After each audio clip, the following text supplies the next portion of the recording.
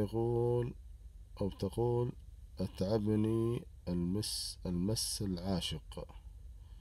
تريد حلا. آه، أول حاجة آه، لابد أن أن نعرف أن ليس هناك مسا اسمه مس, مس عاشق وإنما هذا اصطلاح تعارف عليه بعض أهل الرقية. طيب آه، فبالتالي ليس عندنا دليل لا من القرآن ولا السنة يؤكد نوعية المس. إلا اللهم قضايا السحر كما قال سبحانه وتعالى بنص الآية ما جئتم به السحر إن الله سيبطله. أما تحديد أنواع المس والعياذ بالله فهذا ليس عليه دليل شرعي وإنما اجتهاد آه، من بعض أهل الرقية. فلهذا نحن نقول أنه هو أذى يسمى أذى من الشيطان. والعياذ بالله. قال سبحانه وتعالى إن الذين اتقوا إذا مسهم طائف من الشيطان تذكروا فإذا هم مبصرون. فإذا آه، أحس الإنسان آه، بتعب نفسي أو بدني آه، فعليه أن يلجأ إلى الله سبحانه وتعالى أولا بالدعاء ويخلص في دعائه كذلك يكثر من الاستغفار ويكثر من الصلاة ويكثر من الصدقات خصوصا صدقة السر فإنها تطفئ غضب الرب. وأيضا كذلك إن كان له والدين أحياء فيوصيهما بالدعاء له. كذلك آه، أن يكثر من تلاوة القرآن الكريم خصوصا سورة الفاتحة وسورة البقرة وآل عمران وآية الكرسي وآخر آيتين من سورة البقرة.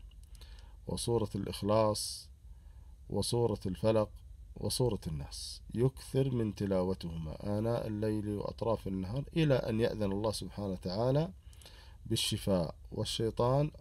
نسأل الله السلامة من شره وكيده. يضعف مع قراءة القرآن الكريم. قال سبحانه وتعالى إن عبادي ليس لك عليهم سلطان. وقال سبحانه وتعالى إن كيد الشيطان كان ضعيفا. والعلم عند الله. هذا يقول جزاك الله خير وإياك. آه هذا يقول ما تفسير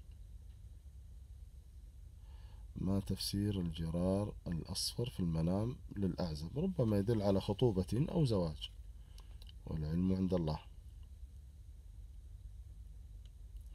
هذه أخت مطلقة ترى في منامها أنها تغسل لحافا. ربما يدل على الشفاء والزواج. والعلم عند الله.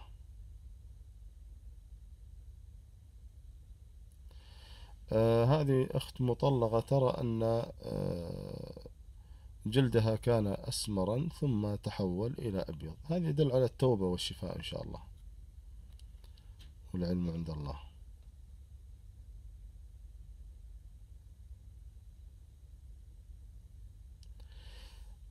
آه أيضا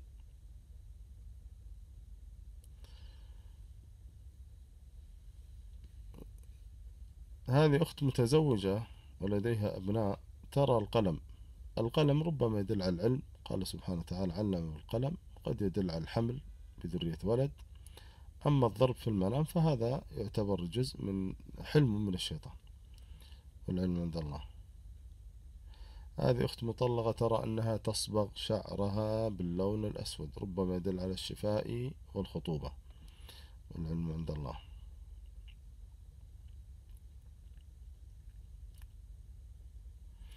هذه أخت يعني بنت عزباء ترى آه، قطعة قماش باللون الأخضر وربما هو زوج صالح لك إن شاء الله والعلم عند الله.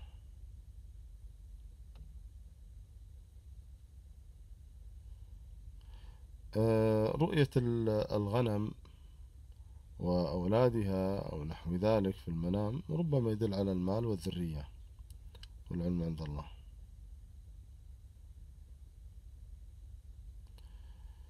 رؤية الأخ المتوفي إن كان بهيئة حسنة ربما يدل على راحته في قبره إن شاء الله. والعلم عند الله.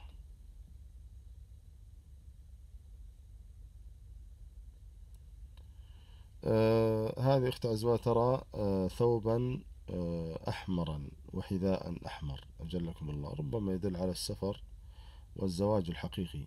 والعلم عند الله.